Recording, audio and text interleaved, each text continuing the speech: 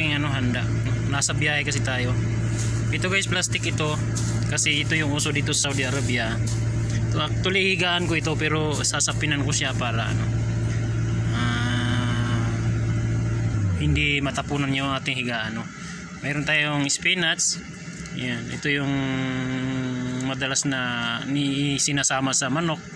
Tapos yung kanin na isang ano mga dalawang kainan ko ito guys kaya yun samahan nyo akong kakain para ano na mayroon tayong handa sa ating kaarawan no?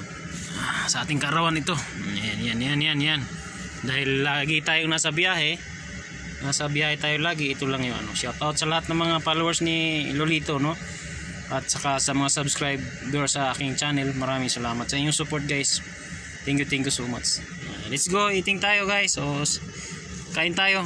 Lunch ito. Ang oras ngayon is 12 12 ano 12.27 yun. So yun. Let's go kain tayo. So yun. Dito lang. Dito lang sa truck. Tayo sa loob ng truck. Kakain. So ito plastic ito para hindi siya ano pagkatapos kumain tapon na. Oh, yun guys. Salamat. Bye bye happy birthday to me